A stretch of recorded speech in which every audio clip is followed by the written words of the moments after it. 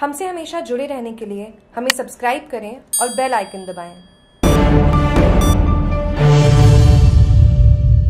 बाड़मेर शहर में मिलावटखोरों की धरपकड़ एवं त्योहारों के मौके पर आम जन को शुद्ध खाद्य पदार्थ मुहैया कराने के लिए राज्य भर की तरह सरहदी बाड़मेर में शुद्ध के लिए युद्ध अभियान दूसरे दिन जारी रहा त्योहारों का समय आने पर खाद्य पदार्थों में मिलावट होने की संभावना अधिक रहती है।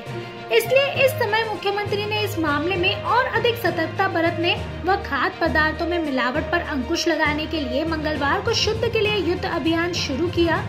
मुख्यमंत्री के निर्देशानुसार शुरू हुए अभियान शुद्ध के लिए युद्ध के तहत ज़िले में भी जिला स्तरीय एवं उपखंड स्तरीय प्रबंधन समितियाँ गठित की गई हैं। शुद्ध के लिए युद्ध अभियान के तहत मंगलवार को बाड़मेर प्रशासन व पुलिस द्वारा शहर में कई मिठाई दुकानों व मावे के सैंपल लिए बाड़मेर उपखंड अधिकारी रोहित चौहान, मुख्य चिकित्सा एवं स्वास्थ्य अधिकारी डॉक्टर बाबूलाल बिशोई, जिला रसद आला अधिकारी टीम तथा पुलिस के आला अधिकारियों की मौजूदगी में खाद्य पदार्थों के सैंपल लिए गए।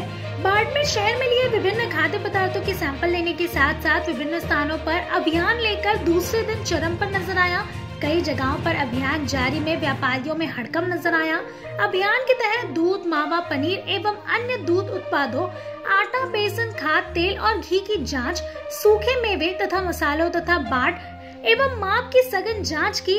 ज़िले में ऐसे खाद्य पदार्थ उत्पादक बड़े थोक विक्रेता और खुदरा विक्रेताओं के चिन्हीकरण का कार्य किया गया है जहाँ मिलावट की संभावना हो।